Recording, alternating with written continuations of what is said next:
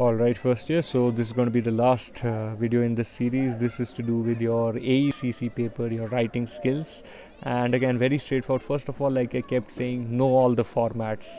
दस नंबर का अगर कुछ भी है तो उसमें से कम से कम दो तीन नंबर तो फॉर्मेट के होते हैं चाहे आप लेटर की बात करें या नोटिस की बात करें सो फॉर्मेट आपका यानी डेट कहाँ आती है आपका नाम कहाँ आता है सब्जेक्ट कहाँ आता है ये सब आपको बहुत अच्छे से आना चाहिए Baki again, like I told you, beginning, middle, end, six W's and all of that you should know. So let's just go through this question paper. Write a brief report on the price distribution function of your college. So that is very straightforward, you know. Like there's been there's been a price distribution function in your college, and you need, need to write a report. So you need to imagine. I'm sure you have seen price distribution function. So what all happens? Speeches hoti hain. There are like you know, uh, dances and cultural things and like you know there might be speeches and finally then एक के बाद एक करके different department sports various subjects they come and get their prizes their prizes and there is a chief guest and all of that so all of it you can you need to be able to write and describe. Second kya hai write a report or like you know the option is for the principal of the school on the work done by the nss volunteers. So if you have seen the nss work happening around your college this should be again be easy like you know local school ko repair repair kiya hai. Aapko again like you know use your imagination and write. This will be for 10 marks. And then moving on to diary entry which is pretty simple. For instance your poem has been accepted by a poetry magazine for its forthcoming issue and write a diary entry तो आपकी जो कविता है, उसको magazine में accept किया गया है. Now you need to write a diary entry describing your feelings obviously it's a positive thing your poem has been accepted by a magazine so you'll just write about your feelings की you how great you feel it's a great magazine again use your imagination and also like you know maybe you can uh, maybe add a couple of lines from your own like you know write a fiction write a poem and add it there you can write the whole poem but uh, just remember that diary entry is for you diary entry is not meant to be shown to others diary entry आप अपने लिए लिखते हैं किसी को दिखाने के लिए नहीं so this is your own form you can use your imagination and write Second option इसमें क्या है two competition you expected to win easily but you failed write a diary entry expressing your experience and feeling so this one will be negative आपने सोचा था आप जीत जाएँगे but आप हार गए. So then you need to accordingly figure out the tone and write your answers. This is for six marks. Similarly, notice you should be very clear about the formats, announcing the launching of a tree plantation drive. Again, like I told you, notice में आपको क्या करना है you need to give all the details. आपको यहाँ पे नाम वाम दे रखा है secretary of environment club so you need to sign as that Vasu Vasudha या Vasudev secretary environmental club college का नाम नहीं दिया है you can either write your college name और you can just like you know uh, make up a college name imaginary college name that is up to you okay? So um, and option K, region or country where you live is reeling under a very severe cold and several deaths due to the cold have been reported okay? As the president of the nss unit of your college write a notice making an appeal to all the students to donate warm clothes blankets quilts etc for the poor needy homeless. So isme kya karenge again?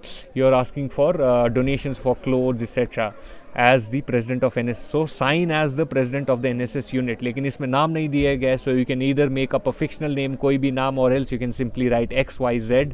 You can sign as XYZ or ABC and उसके नीचे president NSS of whatever college. Letter. Letter like I said especially it's very important you should know the format. So for instance uh, letter to uh, of condolence to a friend who has recently lost his. This is an informal letter, you know, letter of condolence. आप यानी शोक जता रहे हैं क्योंकि उनकी, आपके मित्र के माँ का देहांत हो गया है। So in this case obviously you will not start like the usual की और कैसे हो उम्मीद करता हूँ सब कुशल मंगल है, यहाँ पे भी सब बढ़िया है राइट ये शोक पत्र है। सो राइट अकॉर्डिंगली इसलिए कहता हूँ understand the question carefully okay and उसका दूसरा ऑप्शन इनफॉर्मल जो फॉर्मल लेटर है कि आपके शहर को 125 125 most polluted cities of the country so you need to write a letter to the Hindustan Times giving suggestions for controlling the growing air pollution in your city. General topic है but इसको थोड़ा आपको so imagine you are in some city whatever uh, Delhi, Bombay, Kanpur जो भी आप शहर बनाना चाहते हैं शिमला कुल्लू और लेटर उस शहर को इमेजिन कीजिए और talk about how the air pollution can be reduced and all जैसे जिस तरह के स, क्या बोलते हैं उसको संपादकीय लेटर लेटर्स टू एडिटर्स जो आपको अखबार में मिलते हैं उसी तरह का कुछ लिखना है then paragraph writing is very straightforward like you know one paragraph about demonetisation just like very core topic ज़्यादा इसमें आपको my first day at college very straightforward direct feature article is something like you have talked, like we have talked about is something where you cover a topic in detail like you know all the facets all the aspect जितने भी पहलू है किसी topic के आपको cover करने हैं। जैसे सोशल मीडिया की बात कर रहे हैं तो you need to cover positive negative etcetera overall lots of things water crisis वैसे ही फीचर आर्टिकल जैसे कि अखबारों में आता है। दूसरा क्या है?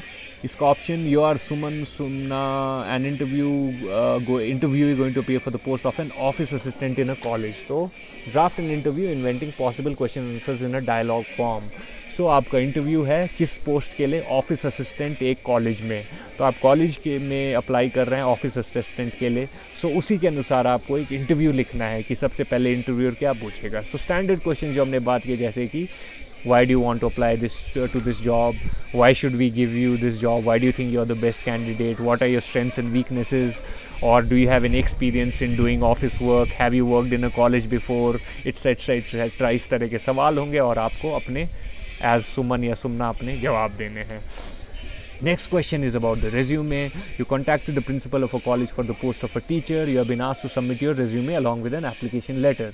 Write your resume and the covering letter. So, resume तो आपको पता है बट कीप इन माइंड किस चीज़ के लिए for post of a teacher तो आपका रेज्यूमे भी उसी संदर्भ में होना चाहिए and also covering letter is simply something that you send simply आप रेज्यूमे नहीं भेजते कवर लेटर जिसमें कि प्रिंसिपल के नाम पे होगा सर। जिसमें आप समझा रहे हैं कि आप किस पोस्ट के लिए अप्लाई कर रहे हैं आपका नाम डिटेल्स वगैरह like you know this is for instance it will go something like this.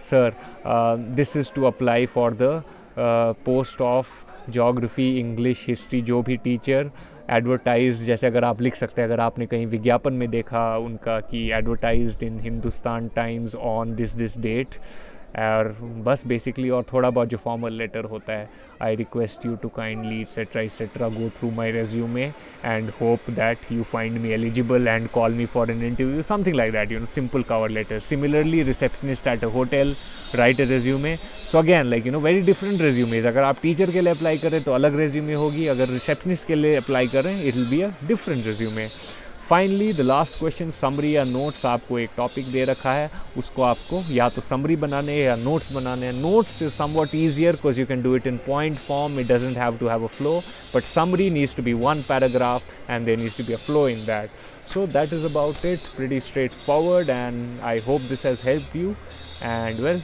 good luck for the exams.